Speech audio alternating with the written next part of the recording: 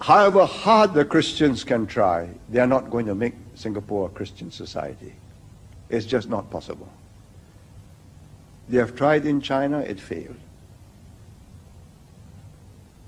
There's something about ancient civilizations, both India and China, the Christians did not convert. They converted segments. You may say Ganesh, with his blue face and mighty arms, is again superstition. But it's given succor, comfort, relief to successive generations for thousands of years. Who are you to say that your Bible is not superstition? I think sensible, sensitive, but firm government will write this patch. Soft government trying to accommodate everybody will lead to big mischief.